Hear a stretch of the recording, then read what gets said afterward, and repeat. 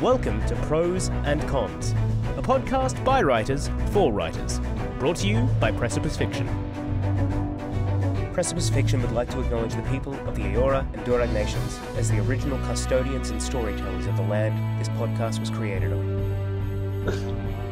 I guess we explain at some point today. We're just we're just talking. This is just you and I having conversation. This is kind of an episode, yeah. kind of not yeah. an episode. So today uh, it's me and Paddy having a chat about Cormac McCarthy adaptations. So we're going to have a little chat about some of Cormac McCarthy's books mm-hmm. uh, that were turned into films and I guess how we felt about those films. Um, yes, how we felt about those films. oh boy, it's my diplomatic way of saying that. yeah, is it fair to say Cormac McCarthy is one of your favorite authors? Is that a fair statement? I don't know if I've read enough of his books to say that, but I have been very impressed with the few I have read. I read The Road, I read No Country for Old Men, and I read Blood Meridian. And Blood Meridian is a book that I was really fascinated by out of out of the three of those. How about you? He's, he's one of your favorites, is he? Well, you know, I want to say yes, but I've read fewer than you. But I, you know, that's okay. never stopped me in the past. I'm going to say he's a favorite. So, yeah. The Road I thought was staggeringly good, and Blood Meridian is one of my favorite books. I also started All the Pretty Horses, which I I wasn't in the right headspace. I think I was too young. It went over okay. my head. I need to come back to it because yeah, Cormac McCarthy deserves a lot of attention. It's not an easy read. Yes, yeah, I do find his writing is something you really have to sit down with and kind of digest it. Mm. This is a little off subject, but a friend of mine recently sent an article which I haven't read. Lauren, i will get to it. I will get to it. Uh, it was titled, I think, something like "The Joy of Reading Text You Don't Fully Understand," which for me sums up the Cormac McCarthy experience so well. I don't always understand what he's talking about, but I'm I love being lost in it and trying to find the meaning and you know discover the profundity under the puzzle a lot of the time. I don't yeah. know if that maybe I'm just a dummy and you're like, no, this is it's really obvious. It's really easy stuff. No, no, no. I'm, very, very much the same. Um, it becomes something kind of like music. I'm thinking as well of like when I was younger reading some oh. of H.P. Lovecraft's passages that I felt like I didn't necessarily understand, but I was definitely feeling the tone. Yes. What was being said. And um, yes. some of his writing a little bit convoluted. And I always enjoyed that. And I think it becomes a little bit like in, in the one sense, writing a story is trying to transfer like the writer's imagination, the writer's thoughts onto the page, and then for you to interpret them in pretty close way. Mm-hmm. So if it becomes a little bit more complex or a little bit less accessible, sometimes we think of that as bad writing. But sometimes if the tone, if the emotions, yes. if these things are still being evoked, it's the same. And yeah, I feel like it becomes a little bit more like poetry, a little bit more like music when that's happening. It's such a tricky thing as well because like you're right. You can do it in a bad way where it's just like, this isn't clear enough. And I don't, mm. that could be a podcast subject in and of itself. I have no idea where the line is between ambiguity Absolutely. that's yeah. bad because it doesn't make sense and ambiguity that's good because it might make sense. Can you work it out? Yes. Yeah. yeah. And I, yeah, I, I don't quite know how writers tell themselves where it is they're landing. How do no. they know? Like, yeah, who are they testing it with? You know, or well, the editor knows because I mean, imagine getting a manuscript and you're reading it and you're like, this is really good, but I don't really understand what's being said here. Do you tell the writer, this needs to be clearer because I don't understand it? Or you tell the writer, look, I got to trust you. This, this seems like genius and just run with it.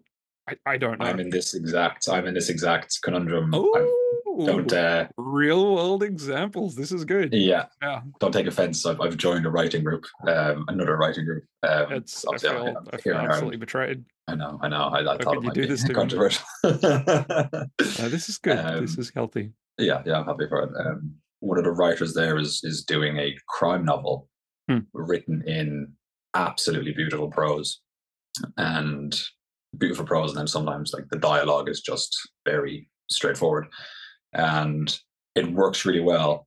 But I'm in that place of saying, like, should you keep going? Because some of the writing group is saying, like, it's going to become inaccessible and it might become tiring after a, like, if you take a big chunk of story, like 10,000 words, mm. might it start to lose its effect? Each of the beautiful lines together, will they stop having the same effect? And is it because it's a crime novel, they tend to be a lot more faster paced? Yeah but is all of that also good? Like, are people going to read it specifically because of the way it's written? And is it something that's not going to become tiring and going to remain nice to read for a certain type of reader? And it's really difficult to know. Yeah. And then even if you were to read it and felt it was, it was a bit tiring, that might just be your experience. Somebody else might be like, "This is my favorite thing ever." I really like. I've not read it, obviously, but I really want to tell that person like just write it because I haven't read Right, James. Joyce's Ulysses, but you know it's got a reputation, and I'll bet if he brought Ulysses to his local writing group, like I'm sure you guys are great, but they would have said like, "What is this? Yeah. This is this is nonsense. This is a massive tome of just babble," and you know, considered one of the literary greats. Or Hang on one sec. yeah, okay. As I heard a noise. It was just the, the postman dropped something in the letterbox. Get. Gonna chase away the local children with a stick. I was 100 percent like if someone's breaking into my house right now. Yeah, yeah. You seem very calm for someone who was about to just break out the, the bat on someone. I was going to say, do you use the cricket bat? But of course, you wouldn't. Like what? The shillelagh? What's what's the go-to? yeah. Like, it's not a baseball bat and it's not a cricket bat. Like, what's the go-to? A hurl, yeah. Or a hurley H-U-R-L? stick. You, you wouldn't call it a hurley stick. It's the hurl, H-U-R-L. It's like a baseball bat, but it's flat, so Oh, aerodynamic. Uh, Every country has its its go-to club. yeah. Oh, we're a terrible species. Anyway, um, Speaking of being terrible species, you just watched The Counselor yesterday, is that right? Yeah, I did. I watched it with my cousin. And the counselor, those that don't know, is correct me if I've got this wrong. Cormac McCarthy's first screenplay. So he's written, you know, The Road, No Country for Old Men, blah, blah, blah, blah. And many of these have been adapted into films. And this is the first time he's written something specifically as a screenplay. I think you're right. I think it had been originally a play of some kind.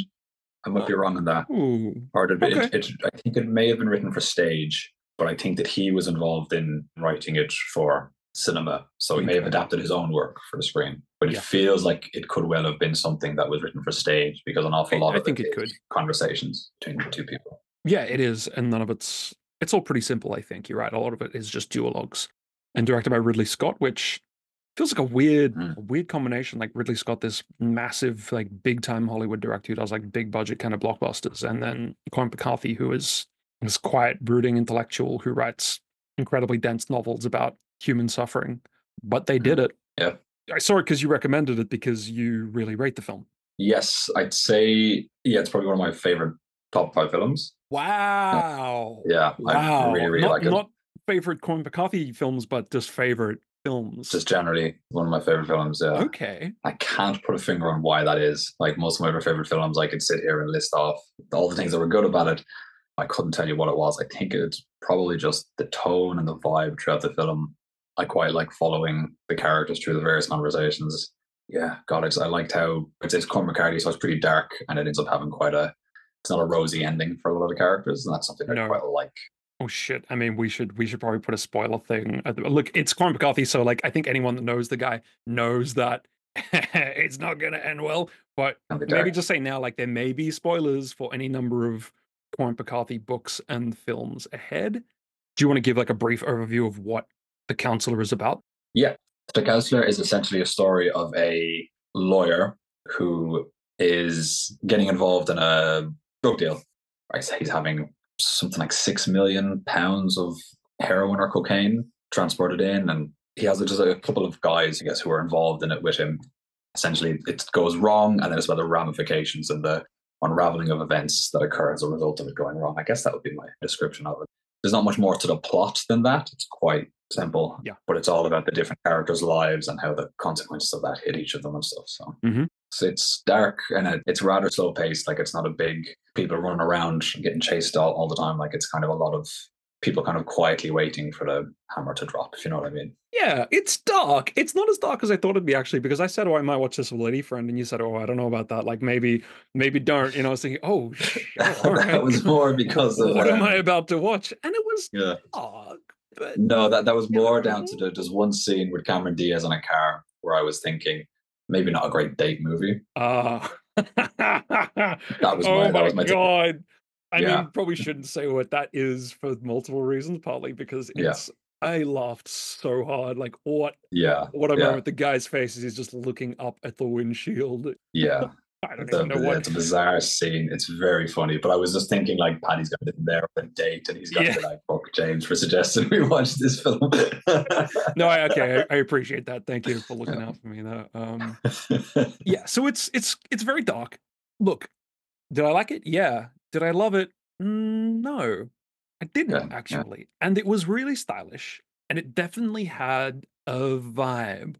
But what I thought kind of let it down, personally, is actually so it was very Cormac McCarthy.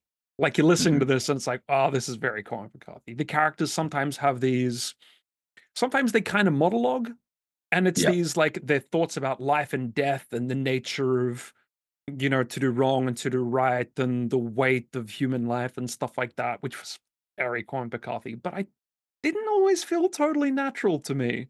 Like, I don't know, when by the third time a character kind of just like dumps a philosophic diatribe, as well written as it was, I'm thinking like, I don't know, people speak like this. Like, Yeah, I don't know, yeah, yeah. maybe they're all reading dense French philosophers or something like that. Yeah, but- maybe this is what this is what like maybe this is what the upper upper upper class do. They just sit around. I do, yeah, I, I, don't know. I never get invited to those parties, so maybe. No, I completely agree with you. Um, but it you know when you say you really liked the specific tone that it had like yeah if you don't take this as like well this needs to be totally hyper realistic then yeah the tone it, it was a vibe it was a, definitely a vibe I completely agree with that, and I think that is probably the reason that it's it's kind of had such a poor reception is because of all of that. When i read the reviews a lot of the people said that they said it they found it too wordy too plotting too navel gazing Yeah, and i didn't even dislike that but that to me stopped it from being great i found that i found it took me out of the film more than it Mm-hmm. Yeah. brought me in yeah, I get that. I kind of expected that. Mm. Perfect because it will lead into my point later on. okay Um, good I think because I know we're going to talk about No Country for Old Men oh yes because we've had very, very different feelings. oh yes Um, yeah yeah I guess I wonder how well the ending of the counselor would have landed if they hadn't, to me, already built in a lot of these questions about life and death and, and things like that. That it would have been a, it obviously would have been more straightforward, but there's kind of a final monologue when he's on the phone to someone at the end, which I feel is kind of like the summation of all of these questions that have been brought up throughout the film. And if it's what I'm thinking of, it was a really good monologue. It was really Mm, Yeah. good. I feel like thematically that scene kind of puts a bow on a lot of the questions which are raised in the film, which I quite like. Mm. So I think like the plot would have moved along a lot quicker, and yes, it would have been a probably a, a more accessible kind of film. But to sum up the, the thematic stuff and some of the questions that have been brought up in the film, I think that they needed to have those other conversations in order to have that. That final monologue would have seemed a bit out of nowhere. I, I don't disagree. I, I almost wish that that final monologue was the only time that a character did something like that. So when we reach Oh, it, it's like, oh, it's just this person that speaks like this. This is really powerful. Rather than by the time it came, I wasn't eye rolling exactly because I did enjoy all those, but I was thinking like, okay, we're doing this again. Here it is. Even though that was the best of them. Mm. So Cormac McCarthy, he loves to wax philosophical, and he's great at it. He loves it so much. Like in Blood Meridian, he does it endlessly, and it's mystifying and beautiful. He does it in those books, though. Other than the judge, and the judge is definitely one of those characters who has his philosophical diatribes. The judge being kind of the bad guy of Blood Meridian, but also one of the main characters. This character who's like this philosopher, genius, sadist, amazing character but most of it otherwise is done in the non-dialogue prose. It's done with Cormac McCarthy just writing on the page. So I almost feel that with the counselor, he tried to get a lot of the non-dialogue philosophizing done in the dialogue of the characters, where otherwise it would have been non-character dialogue, and that to Mm. me didn't quite work. It's, it's almost funny Yeah. because it's like you watch it, and it's like, well, okay, obviously Cormac McCarthy needs to have this in his stories because he's even shoehorning it into character dialogue, Yeah. you know, where he can't have like a narrator say it. Well, yeah, that's what I was going to ask. Do you think if it had been narrated across what was happening, if it had been a well, no. no, okay, I, I mean, mm, I don't know. I mean, sometimes narration is done well in films, but Yeah. you know, I think interesting. so many times it's not. I, I don't know how they would have done it. You know, when we talk about No Country for Old Men, there is no overt narration, and everything really just either through subtle dialogue or implied in the world building of the film. Okay, we'll be locked into No Country for Old Men. Okay, those are my thoughts about the counselor. I liked it, but ironically for me, because I love his writing so much, it felt almost too Cormac McCarthy. you know, Got okay. too yeah. heavy-handedly Cormac McCarthy. Anyway, Yeah. those are my thoughts about the council. Still liked it. Yes, I'd love for you to check out the Thin Red Line, which is a Terence McKenna directed film. Yeah, you've mentioned this. It's a war film, right? It's a war film, but it does a lot of waxing, Okay. waxing philosophical, waxing spiritual. You know, I, I I do like some wax. It does so with voiceover, and it does so with voiceover over like scenes of what you would normally think are like the focus of the of a war film to be like a big action scene, it's characters engaging in gunfights and just running and shooting, and Yeah. but there's this voiceover giving everything a different tone. Interesting. It doesn't go as I guess colorful as the counselor. It's a lot more direct because it's really in the voice of the characters, and it feels like these would be realistically how these characters would conceptualize what's going on. But it makes for a very different tone of a film. And again, it's a film that wasn't received very well. It came out the same year, as Saving Private Ryan. Saving Private Ryan has these big, sweeping Yeah. action scenes, yeah. great characters, dramatic plot. Not especially very- deep. Not especially deep, no, and then quite a like it's got a real drive towards their goal. You know what I mean? Mhm. Whereas the Thin Red Line kind of has no main character and does not really like other than the goal of engage in the military conflict and be successful. There's not really a goal, so it's just kind of I think it's three hours of, of characters on an island, kind of. I, I have a very high tolerance for long films with characters just babbling. Yeah, see, I, I was so yeah. I was actually surprised that it wasn't already one of your like well-known films. So like this feels Okay. like right in Paddy's area. All right, yeah, I'll watch it and report back. Excellent. Will you talk about No Country for Old Men? Let's let's do it. Cracking the knuckles. Here we go. Let's do it. Yeah. So You you you lay us up. All right. Uh great film. Great film. Really excellent film.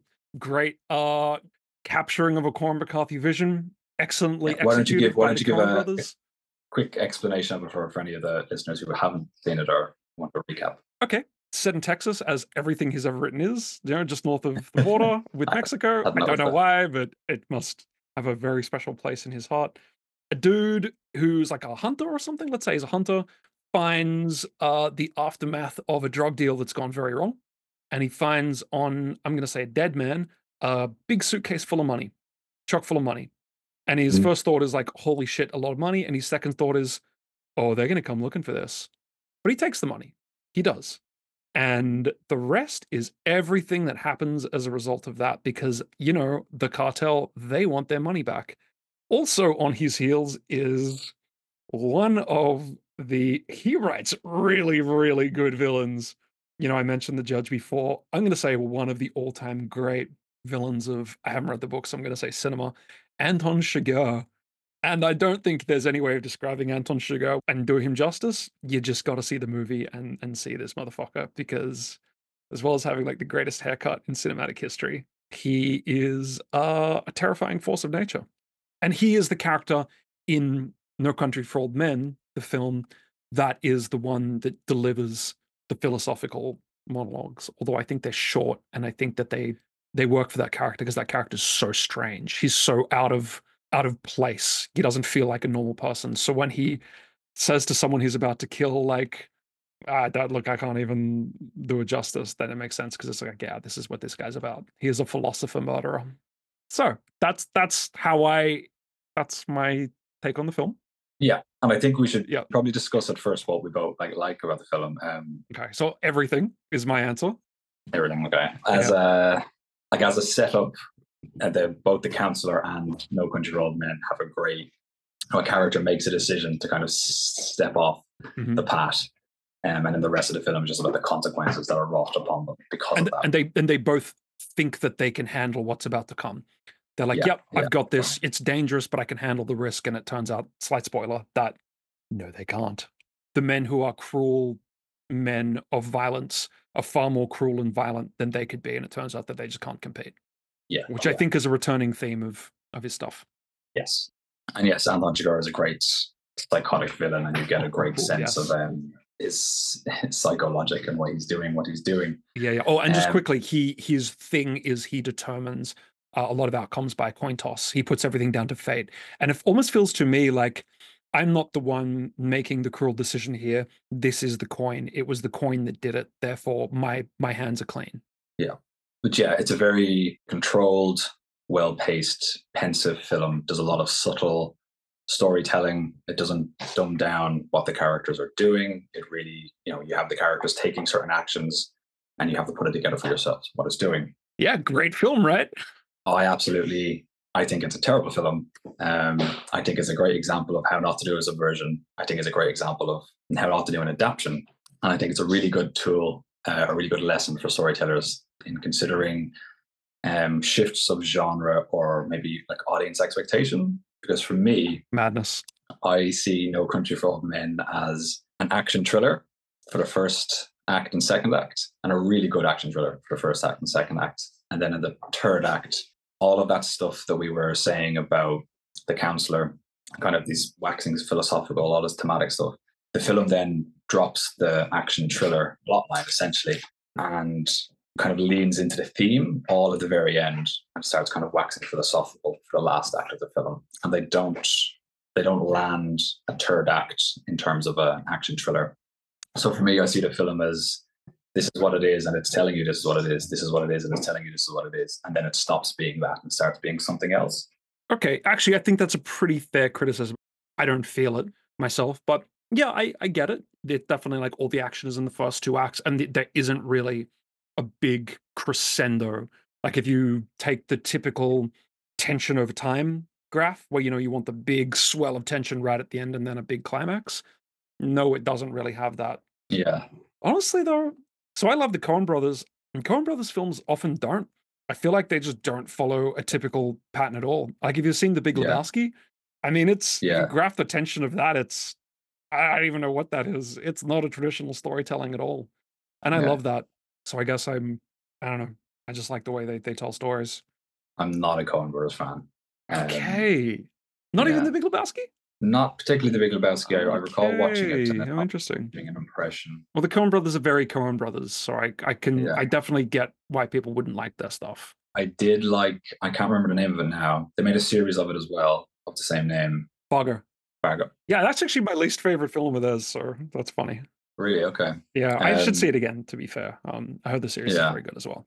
I, I really dislike the series, and that's an issue I had with the film and issue I had the series is that they say at the beginning that it's based on a true story, and it's not. And I think they do have to give themselves a license to not follow storytelling rules and still keep the audience engaged because the audience thinks this is how things happened. Mm, the Coen brothers have never asked permission to tell a weird story that doesn't follow rules. So I think they're just going to do it. They're just going to make a Big Lebowski and say, like, yeah, yeah, deal with it. We've made this.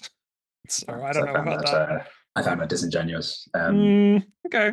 And I, I didn't like their vision for No Country for Old Men. Okay.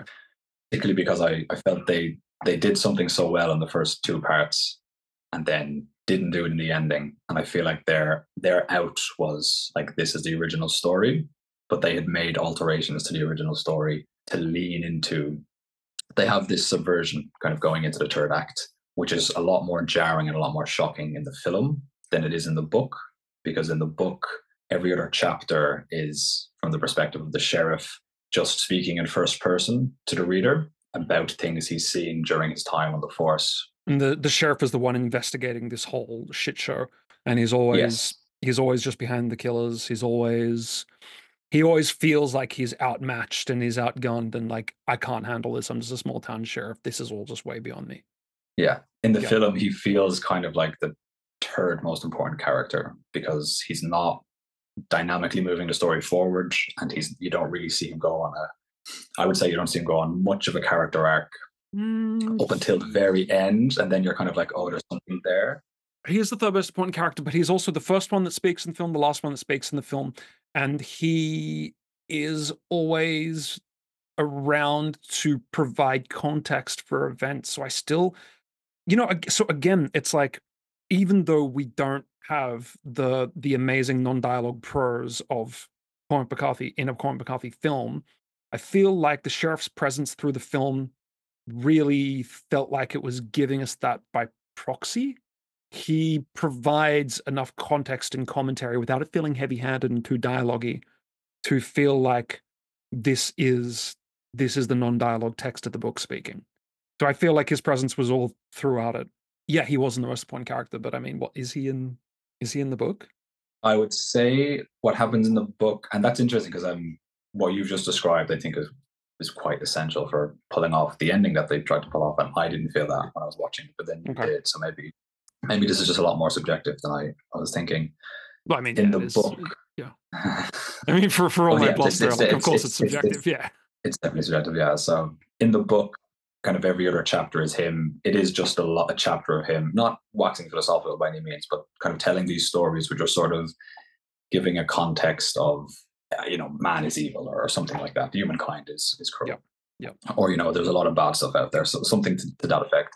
And because of that, it starts to feel a little bit like the story that we're hearing, because the story of um, what's the main character's name, Llewellyn and Chigurh, that's all in third person. So it starts to give this feeling a little bit like this whole story is something that the sheriff is also recounting back to us. So spoilers for, for No Country for Old Men. At the end of the second act, they kind of set up that Chigurh, who was hunting Llewellyn, and Llewellyn, who was trying to escape, they kind of set up that these two are going to meet, that there's going to be kind of a, a reckoning between the two of them.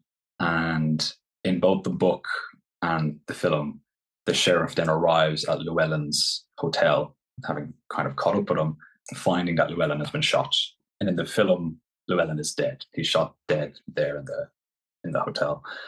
In the book, uh, Llewellyn is rushed to the hospital, and the sheriff hears from the first cop who arrived on the scene what had played out. And it doesn't go into details, but it still feels a little bit like you hear the events of what happened. And then the sheriff goes to the hospital and finds Llewellyn dead. So both stories have this kind of surprise that what feels like the kind of main driving force that kind of ends. But in the book, it feels way more like the the story doesn't feel like it becomes inconsistent because we kind of get this kind of Mexican standoff at the end. We hear about it in third person, so it's not as jarring in a book to not see it because we're still okay. hearing about it. So it still is told. Because in in the film, where they just show him floating face down in a swimming pool dead, we know what happened. I don't think that's him. I think he's he's in the doorway. Uh, okay, it's been a it's been a minute since I've seen it, but the point is, yeah, we just yeah. see the aftermath. Like there wasn't a yeah. contest; he was just gunned down. Yeah, in the book, we get a little bit of a description of his heroic last stand. He kind of gets shot. You know, he has a thing where the bad guys walk away and he kind of rears up and gets a final shot off. Okay, so kind of I haven't read the book, but you know, I like it more as just like, nah, he just fucking died because it's such a good mm-hmm. subversion. If this were a traditional action story, then of course the hero would have a last stand moment and there'd be a showdown and he'd get a final shot off even if he doesn't succeed. But it's not. And I think that's kind of the point. Like, even though it does have a lot of the trappings of an action film, thriller film, it kind of is. But at the same time, I think it deliberately says, like, no, no, no, this is much darker. Like, the hero does not get a final shot. The hero does not have a final moment. The Coen brothers said, like, no, guess what?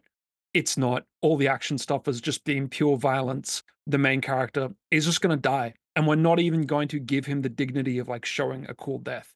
We're just going to have the main character rock up to the scene and show his dead body. It wasn't even a contest because in the end, it was never a contest. Llewellyn's just a dude. He's not ruthless enough. He's not cruel enough. He's not cold enough. He's versing someone who is all about this, who is kind of like the personification of ruthlessness and terror and violence. So, yeah, he's going to die. And you know what? We're not even going to show the death. Like, that to me was such a good statement. Granted, I haven't read the book, but to me, like, when you describe like how that happens in the book, I prefer their version. I prefer their version. It's just like, nah, he just fucking dies. That's it. Yeah. Um, I don't like it. No, I know. For two reasons. And I think it's bad storytelling for one reason. Oh. I think it's bad storytelling because, like you said, it's not a typical action film, no. but it sold itself as a typical action film. It was marketed as a typical action film. I went to go see it in the cinema, so I paid to go see an action thriller. Well, we yeah can't blame the marketing for the film. Like the marketing might have been off. That's fine. Okay, that's the fine. okay, we'll, we'll, we'll, um, that's absolutely fine. I'll take the marketing out. But okay. the first act is an action thriller. Second act is an action thriller. So it is telling you it's an action thriller. And then in the end, it says, well, I mean, we've got a guy, he's out running a truck and he's getting shot in the shoulder and he's being chased by a dog and then he's cleaning the water out of the gun and then shooting the dog in midair. Yes, but from the beginning, you know it's going to be a very dark, a very different action This is not thriller. a realistic look at you know it's it's hamming up certain things to be well, to be exaggerated action I, I, don't know that it is hamming things up it's bleak like it's bleakening things up but i i don't it's not like he's running in with two machine guns like dodging bullets as he's wasting cartel. No, what what he, what he what he is doing is like this is action. He's running into the horizon. There's lightning flashing. There's a truck chasing him. They're Mm. firing off the roof, and that was an adaptation from the book because in the book, Okay. in that scene, it's a lot more of him hiding as the truck is looking for him. Okay. And the scene, the action scenes in the film are altered from the action scenes in the book because in the book they're a lot more. The character can't see everything that's happening all at once, so the character is just getting little bits you're aware that there's a shootout happening, but the story isn't about the shootout. The story is about the character running from the shootout, essentially. So the film doesn't lean into the action in order to be a big dramatic action thriller. And then in the end, it says, "Oh, you thought it was an action thriller? No, this is a slice of real life."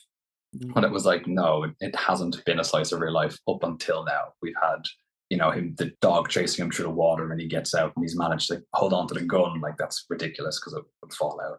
He takes the gun apart and he cleans it and he blows air into the gun. And this is uh, this is dramatic. It's for dramatic action. Action I. I, I- all your points make sense, and I agree. I just feel like subjectively, of course, like we were kind of watching different films because, as I was saying, it like yes, it felt action-ish and not thriller-ish, but it almost felt more like a horror film or like the dark side of a thriller. You know, horror s- in the sense that like someone is running from the monster and like they might have little wins, but in the end, the monster's going to get them. right. So well, I would say I felt they were telling a heightened action thriller, and then in the end, they chose to subvert that because of what had what was already laid into the book. They just chose to well, let's lean harder into this, and then lean harder into it the other way. well, I Um, think you, you, I think you're wrong for the right reasons. well, my, my point on it being bad writing is that if if it was anyone other than the Coen brothers, who are a big name, Cormac McCarthy, who was a big name, if you wrote you know, three quarters of a story that was horror, and then in the end you said, no, it's not horror because ghosts aren't real. If you wrote, if you did, you did a first act and a second act of a mystery, and then in the end you said, well, some crimes aren't solved, you would be really letting down your audience. And I don't think you can stand back Yeah. and say, well, that's real life sometimes. Like, I didn't come here for real life. I came here for a story, and you were telling me a story and then decided to not Okay. give me a resolution. When I watched No Country for Old Men, I initially felt like they've they've told a good they've told most of a great story, but they haven't ended it. So for me, a story is kind of the sum of all parts. If you're setting up a great antagonist and a interesting dramatic drive, and the antagonist is kind of waxing philosophical, I'm I'm waiting to see what you're doing with all of these pieces that you're putting together. If we're halfway through a film and I'm fully invested, which I I was and have been some, some sometimes when I watch it, your expectation is that the storyteller is taking you somewhere with all of this. So for the storyteller to get to the end and then kind of really drop the dramatic drive of the main plot line and kind of have all these pieces kind of scatter off in different directions and say, you know, sometimes that's life. It feels really disingenuous of a storyteller. And really I find the last I find the ending of the film really boring because once the drive falls out of the film, like we have an action thriller end, which easily five minutes of Tommy Lee Jones looking into the camera, telling us stories of his dreams, which again in a book works because that's how the narration has been going. But for a film where you have, you know, characters shooting out of windows and driving and shooting each other as they're driving past each other and stuff, I thought it was bad storytelling because it wasn't even a subversion because it didn't set you up in the beginning to feel this is going to go in a different direction. It said this is a really well told action thriller, and then it took a left turn in the last act. Okay. Good points. Well expressed. I get it. I get it. And I see how if one had come in and they felt like it was setting up as one thing, then, you know, that idea of the contract with the audience. You have a contract with the audience. If you promise one thing, you should deliver the thing. I, for whatever reason, didn't feel that that contract was they're telling me that it was going to be this. Maybe because I really like Coen Brothers films and I know what they're like. Maybe because I hadn't read the book. You'd read the book first, right? No, Oh, okay. I hadn't. I, I, Okay. I hadn't read the book. No, I only read the book last week in preparation for this uh, this conversation. Okay. I just have one question, real quick. Um, are you a fan of action thrillers? Yeah. Yeah. Okay.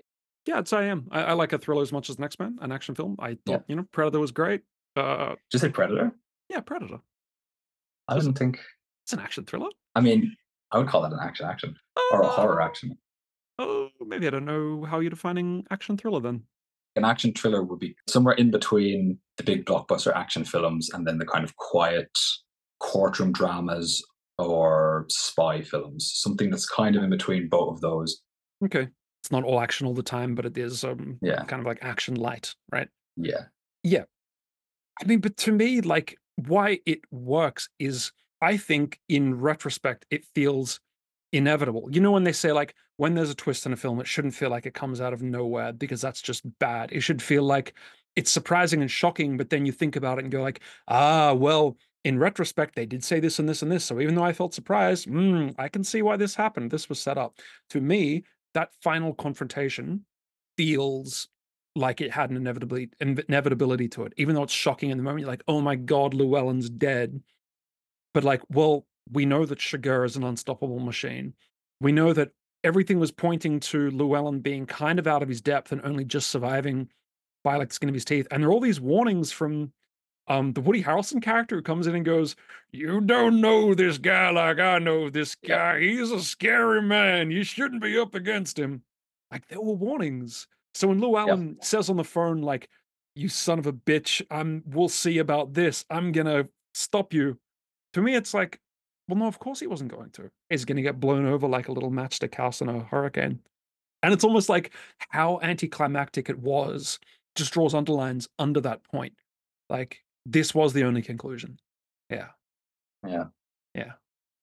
I, look, I don't disagree with anything you've said, like, except just that that wasn't my experience of the film. I, I didn't, I didn't have Yeah. those. Yeah. the contract for me wasn't wasn't the same as it was for you, I guess. Yeah. I guess like narratively I see the appeal. I just feel like they didn't land. I feel like they didn't set up that ending that they were gonna lean into.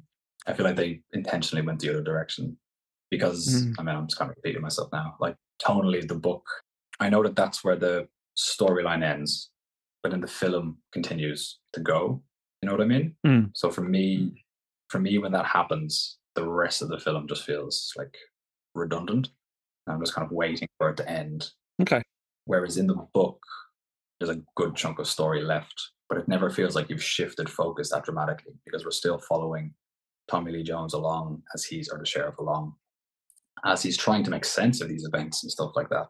Like there's a huge chunk of the end of the book which is just the sheriff talking to the audience, and they've taken all of that out to just leave like the final final thing that he says, which is about his dream. Which I loved.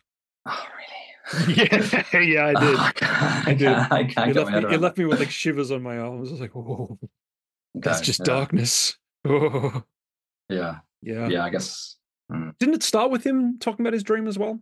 It, may have. Yeah, yeah. It did. Yeah, I just felt. Yeah, he just you just hated it. That's okay. Yeah, I hate it. Yeah, fair. I, I fair, fair. You know, it's it's it's good to hash this out. Yeah, I guess I think that what I guess I, I we were saying their vision for it. Mm. My impression for their vision for it and something that made it different from the way the counselor was handled was because they took all of that.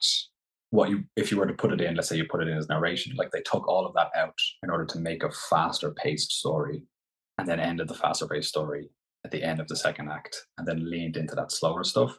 And as a like as an artistic choice, I felt like that was very I just felt like it was a sneaky way of having them have a surprise kind of oh look at the surprise in the ending.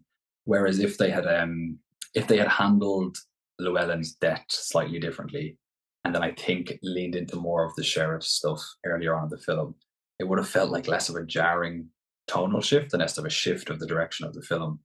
But I don't I think that they intentionally didn't want that. I think they wanted it to feel jarring. I I think they did want it to feel somewhat jarring, but I still think that it felt jarring in the way that a good twist does, where there is a jarring moment, but then you think about it and it's like, ah, that's that's that's how I felt. But again, it's such a Coen Brothers thing to do. They love to have like one Mhm. big twist and another big twist and another big twist, and by the end, the whole thing is like a an interesting pretzel. Yeah. I think the pretzel was delicious, and I would eat it again. That's good to know. Yeah. Because I tend to write dark endings and I tend to like to write the characters. Not, Yes, you do. Pulling it off. No, you don't. And my fear is that I would handle it the way the Coen Brothers handled. My fear is that I would have set things in place where it was like it's going somewhere, and then I it just yeah. So look, I pulled the rug out from under you, and life is dark. That's the way it happens. also, uh, I know I'm just dumping on it now, but um, that's okay. No, you you, you say now, but you've been doing it for the last twenty minutes. But that's okay. You know. I know, but I feel like now I'm not not I'm not constructively dumping on it. I'm just airing grievances. Just shitting on it. Um, the the fact that there was a lot of philosophical stuff brought up felt to me like it was turning into a this philosophy versus that philosophy kind of thing. Yes. And in particular, I feel like if they hadn't had that scene between Chigurh and Llewellyn on the phone, and maybe the, the Woody Harrelson scene, then Chigurh and, and Llewellyn on the phone, then that's like directly from the book. So they, they obviously were being faithful. And it felt like it was becoming a conflict of philosophies. So then for none of the philosophies to ever really go up against each other felt to me like, oh, But- you- but- but they- like but they- you set something up and then dropped that. They did go up against each other, and the philo- the Chigurh's philosophy of absolute ruthlessness just just blew over the other one. Yes, but he did he did manage a few shots. It was one of those things where like you could just as easily have interpreted book. it as no, he in the in that he shoots him in the film as well. Because Chigurh has to go and get himself medicine. Yeah, he blows up a car. Uh, I think it. that happened earlier. I think that might have happened That earlier. was um he was tracking him, if you remember, because he had a beeper in the suitcase. Mhm. Remember the, the the hotel where Woody Harrelson gets shot the night before. Chigurh comes in and there's a shootout there in the hotel. okay, look, I'll, I'll take your word for it. Um, Okay. I you know I've seen in this movie the- like two or three times, so I, I should remember this, okay. but uh, for Yeah, whatever reason no I don't. yeah, Chigurh has to lay up for a few days. They, they both have to lay up after that conflict. So the, the film, like the, both the film and the book, also has a sense of this character is starting to figure things out. He's starting to get a sense of the danger he's in. Like it is also like he's too confident and it's like you're in way over your head. Mhm. But you could also interpret it as you know, Chigurh has like got the drop on everyone so far because people just aren't expecting this level of violence and depravity and now this character is starting to see what he's up against and now he you know for the first time he knows what he's pointing at Mhm. because we've seen him as a character who's patient we've seen him as a character who's had made very sensible steps in order to stay one step ahead and we've seen Chigurh kind of getting by on the fact that he's just he just surprises people with what he's doing so for them to set all of that up and then off screen just have it end and not end with a climax i just felt like it was insulting to the audience Mm, Mm. strong words. In- interesting points. You know, maybe not. uh Maybe maybe not totally, not totally true to the film, but yeah, strong strong points. Um, definitely valid definitely valid points valid. Yes, and i valid think i think valid i think points. worth i think worth considering for any uh any any writers thinking of following in those footsteps Yes. to keep in mind audience expectation and how things might be interpreted people might take a different leaning with the themes or things like that so I, I will definitely concede that most writers probably shouldn't try and copy the Coen brothers because the Coen brothers are deranged in their storytelling and they do it in their own special way. which some people hate Yes. and some people love, but some people hate. Okay, so before we wrap this up, I really wanted to talk to you about uh, Blood Meridian, which is a book that I know we both love. Cormac McCarthy book. Do you want to give like a brief uh brief synopsis yeah, synopsis of that? I would describe it as a story in which when is it set? It's kind of set around the 18th, I want to say the late I think so. 1800s. Late 1800s in No, America. Yeah, late 1800s, yes. Yeah, Would that it be? feels right. Uh, I don't know. I think it must be because it's I think just before the war with Mexico. I remember my Mm. history correctly. I think it was just after the war with Mexico. Oh, was it okay? Because right, okay, that'd Anyway, be early. Anyway, some period of time. Texas, cowboys. That's all you need to know. Yeah. And it kind of follows a group of, I would say, marauding cowboys who Yeah. decide to go Scalp hunters. into Texas, scalp hunters, yeah, to go in and, and take scalps in exchange for money. You can take the top of the head off someone and uh, basically sell it back to America for money. Yeah. Um, these guys head out and they um, quickly learn that you don't have to necessarily take the scalps off warriors. You can just take the scalps off anyone who is a indigenous American. Mhm. So it is just a bloody, violent, very dark tour across this landscape with these characters who are based on real people in history. Mm, Um, the Glanton gang. yeah, just follow the Glanton gang and their horrible escapades. And that's Yeah. just absolutely harrowing. Yeah, harrowing. and I think almost famously very hard to adapt. Like at least, look, I've I've read articles and Yeah. snippets and some some of the better Reddit comments. People saying like I think some people are saying I hope they don't adapt this just because yeah, it How- feels impossible. it yeah. it does. It does. So so much of what the story is is how it's written. Yes. There's kind of no plot. The main, Mhm. if you could call him a main character, the, the, the character that the story mostly follows, has absolutely no internal information. You're not getting any Oh, that's interesting. emotions. Yeah, yeah, it was just very, very different. You don't you don't get Yeah. any internal information from any of the characters, which is very strange for a book and would Hmm. seem like something that could be very easily adapted into a film because a lot of the book is based on you being like, what are these characters thinking when doing this? And feels like something that could be adapted into a film very easily. Mm. Um, but then so much of the prose, so much of the tonality is derived from the way the descriptions of the landscape is described. Um, Yes.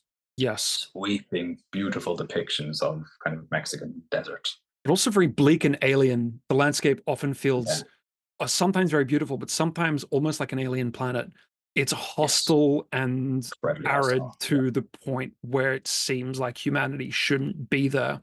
And the humanity that is there is so terrible that it almost feels supernatural to me at points. It almost feels otherworldly, Yeah. There is a sense of I wouldn't. It's not heightened realism. It's almost like surrealism. dream-like surrealism. Yes, that's much much better. Yeah, Yeah. And the whole thing kind of feels like a bit of a fever dream. yeah, that's exactly it. Yeah. yeah, and kind of sudden acts of horrific violence.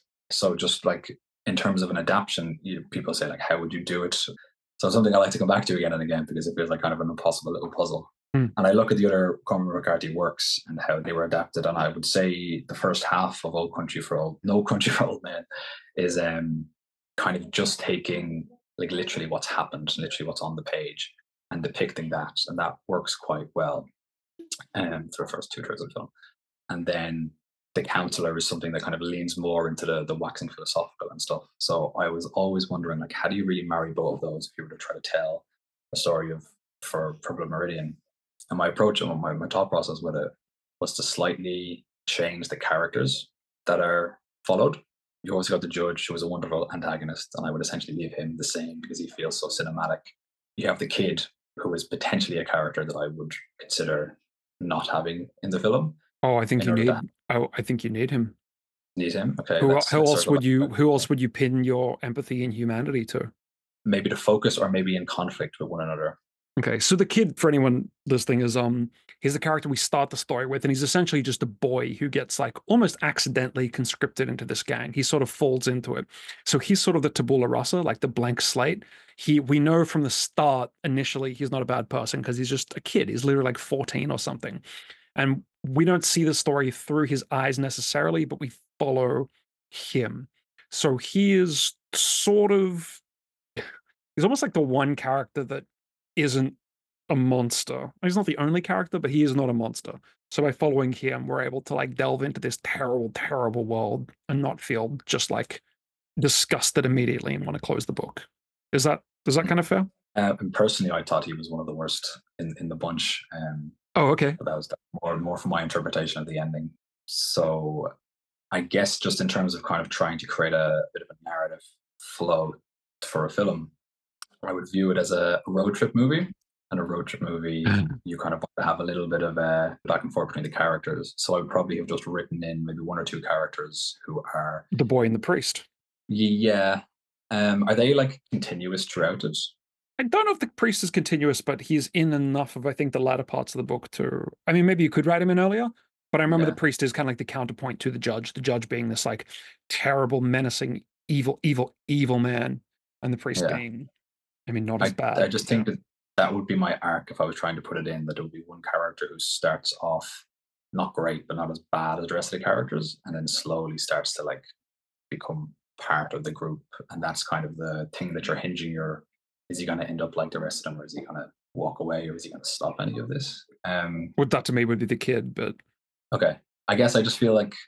I guess I feel like because the kid was kind of a blank slate, and he didn't have any major conflicts with any of the other characters.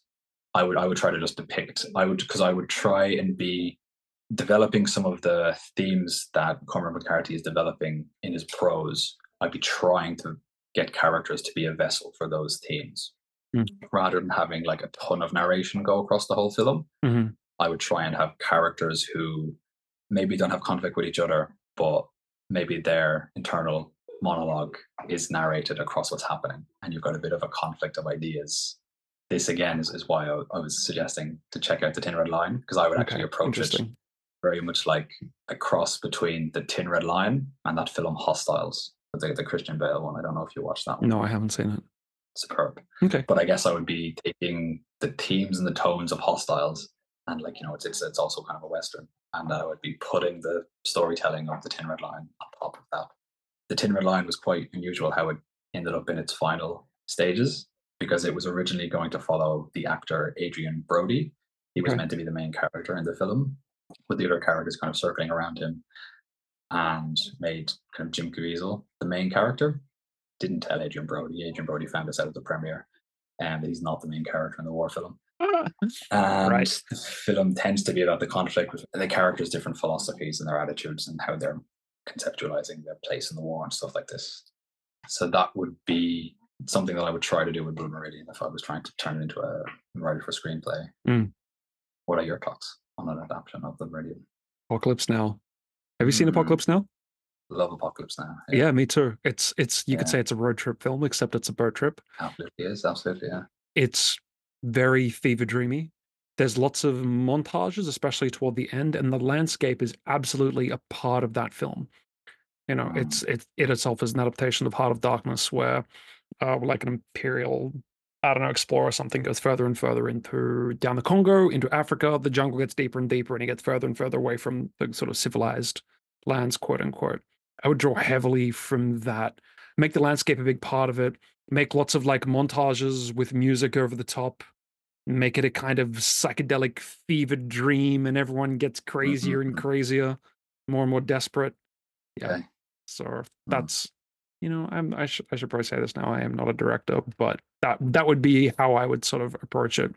When I Yeah. when I read that book, I had such vivid I don't know, I guess it's his writing, but to me it was such a vividly powerful book. Like I could see those scenes. I can see that desert in my mind so strongly. So I can almost see the scenes of the film in my mind. And it's a lot of yeah, it's a lot of things like scenes blurring into one another, and it's a lot of like beating sun and someone's haggard face fading out into like a, a shot of the sun, stuff like that. God. I don't know if any of this makes sense. I think um, this has been a bit of a fever dream explanation, but yeah, I think the cinematography would have to do a lot of heavy lifting. Yeah, yeah. Interesting. Okay. Anyway, I, I, I hope they do it. If it sucks, I won't watch it, and if it's great, then it's great. And you would have to get the perfect actor for the judge. You yes. absolutely nail them, and I I don't know who you'd get. throw out a suggestion there for the judge. So just let Okay. the let the maybe, the listeners they can they can give us their their take or their vote on it. Yeah, give us your that. judge But, suggestions. Absolutely, Yeah. we'll we'll pitch them to the director. I mean, I could see Woody Harrelson doing the judge. Honestly, did you ever see um Out of the Furnace? No. Out of the Furnace is good. Woody Harrelson is a menacing force in that. But his his Uh, opening scene is him like just assaulting someone at a kind of cinema. Um, I guess if I think about him in Natural Born Killers, he was very frightening. oh yeah. Oh Um, yeah, yeah. And he had that he had that look. He's He got a menacing bald head. That would work. for He's the judge. definitely has a menacing bald head. Yeah. Yeah. Just need to him to gain a lot of weight and get very very pale, and then bam, you've got yourself the judge. Mm.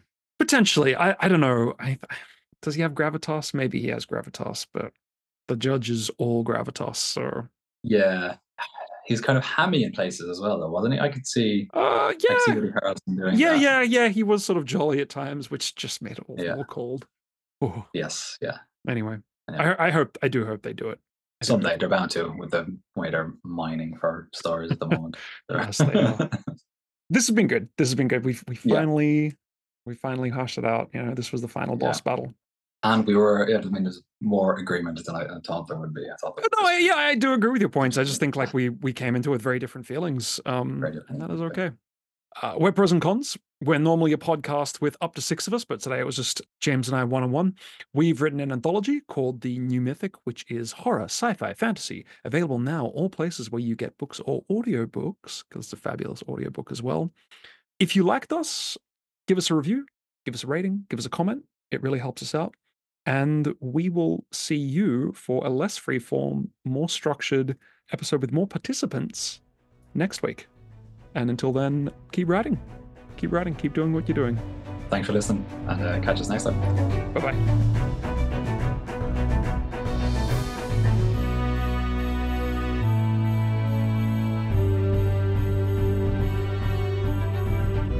You're listening to Prose and Cons, the Precipice Fiction podcast.